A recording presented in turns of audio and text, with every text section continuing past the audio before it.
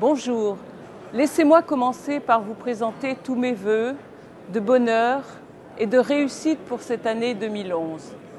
Elle sera chargée en ce qui me concerne, car le Parlement européen verra arriver des textes importants qui sont de la compétence de la Commission des affaires juridiques à laquelle j'appartiens.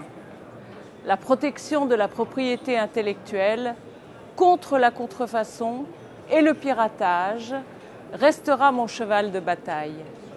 Favoriser le développement de l'offre légale en ligne, garantir l'accès au contenu culturel dans le respect des droits fondamentaux des citoyens, contribuer à la croissance économique du secteur des industries culturelles et innovantes, en maintenir et même en accroître les emplois, c'est défendre notre patrimoine le plus précieux et en garantir la diversité.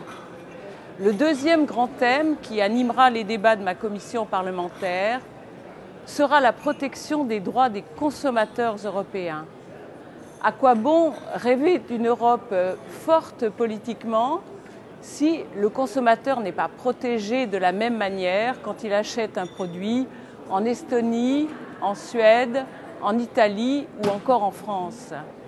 À quoi bon créer une Union européenne si ce n'est pas pour faciliter le travail de nos entreprises en harmonisant les conditions de vente entre les différents pays européens?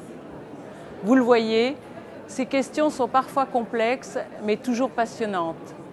Ce sont des sujets qui vous touchent, vous, citoyens européens, dans votre vie de tous les jours.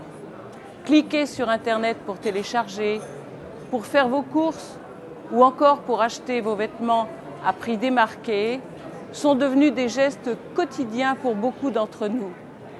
Je terminerai en vous invitant à consulter mon site internet qui vous est destiné et vous explique en quoi consistent les activités d'un parlementaire européen.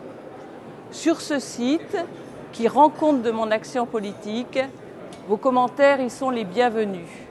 Je vous remercie. À très bientôt.